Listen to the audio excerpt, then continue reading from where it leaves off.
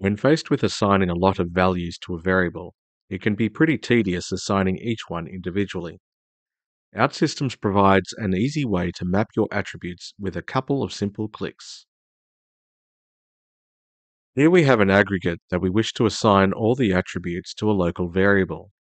We can manually assign the first one by selecting the variable attribute and assigning the source value.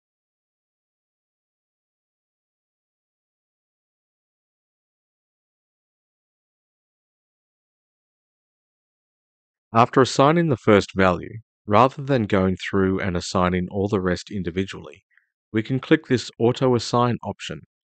This will instantly assign all the remaining attributes to their matching variables.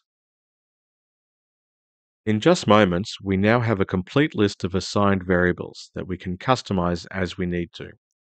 Just another way OutSystems help speed up your development.